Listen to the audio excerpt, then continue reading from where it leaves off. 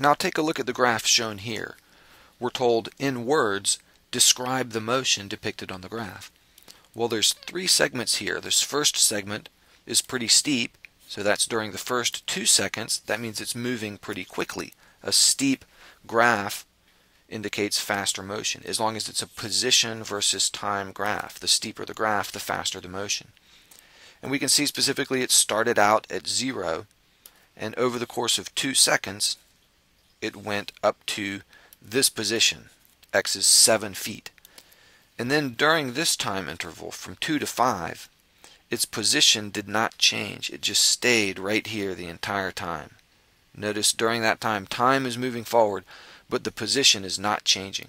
That means it's sitting still. It sat still for 3 seconds, and then it moved forward again over these next 3 seconds from 5 to 8 during this section of the graph. It moved from this position, uh, 8, up to this position, 14. So in words, I'll say it just very simply like this. The object moved forward 8 feet in 2 seconds.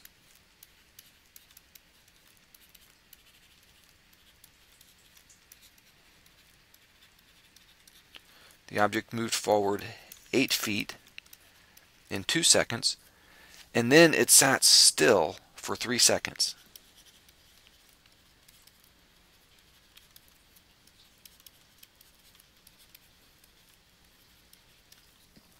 And then it moved forward 6 more feet in the last 3 seconds.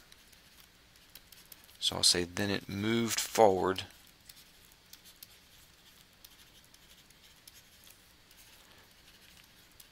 six more feet in the last three seconds.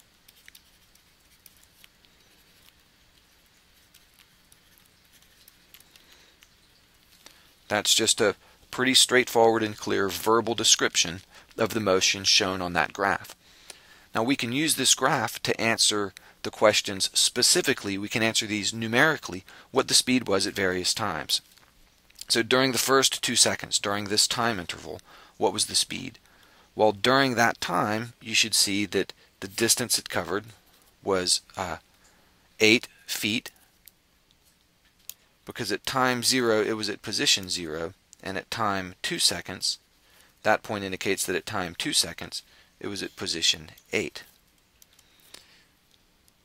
So if, if we want to know the speed of the object the speed will be the distance divided by the time and during those first 2 seconds it went 8 feet.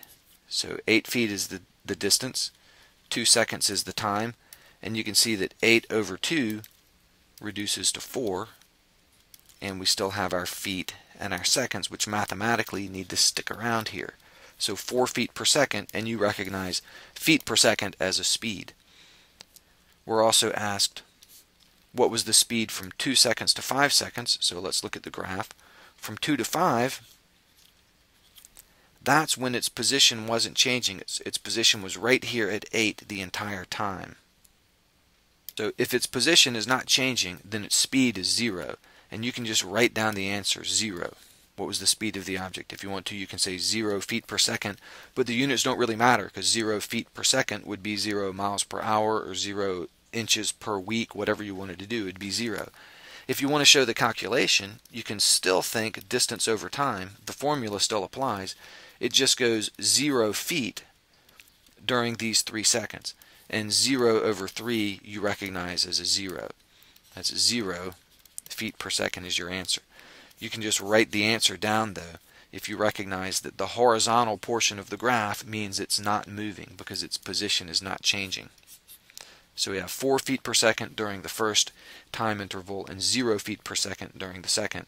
And then we're also asked what was the speed from 5 seconds to 8. So during these 3 seconds, from 5 seconds to 8, that's a 3 second time interval. You can count them 1, 2, 3. During those 3 seconds, at, at 5 seconds, it was at this position 8. That's a 8 on our x-axis, position axis.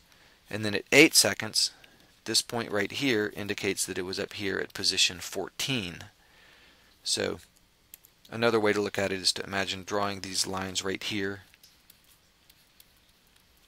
Think about this point and this point, those two points, and those two points define this time interval, and then draw these lines over here.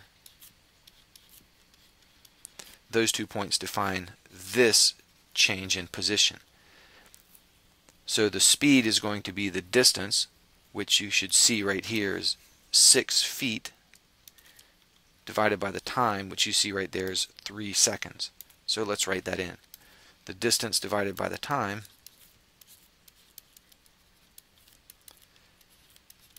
is 6 feet divided by 3 seconds. And the 6 over 3 reduces to a 2, and we still have the feet per second. So the speed during that last segment was 2 feet per second. And you can see this. During the first segment, the speed was 4. During the last segment, the speed was 2. And if we look at the graph, we see that during the first segment, when the speed was greater, the graph is steeper than it is during the second segment when the speed is less, or the last segment when the speed is less. In each of these calculations, the speed over that, over that given time interval is the slope of the segment for that time interval. And the calculation, delta x over delta t, our change in position over our change in time, is, is a slope calculation. It's really just the rise over the run.